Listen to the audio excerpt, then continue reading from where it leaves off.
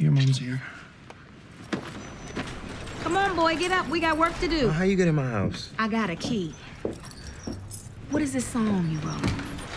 It ain't half bad. Performing at the club on Saturday. You got a call from somebody named Carter. Thought I told you to wait in the car. Who's that? Porsha, my new assistant, probationary. You want to call her? She said it's urgent. I said get out of here.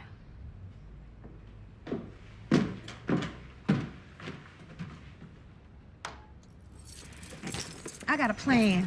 Your daddy's got Hakeem performing at Leviticus on Saturday. I'm gonna get you up on the stage too. You don't want me there. I don't care what he wants. Well, we do. Shut up, Dora. You gonna get up and you gonna work on this song. And come Saturday, you gonna show everybody that you are just as talented as your brother. Let's hit it.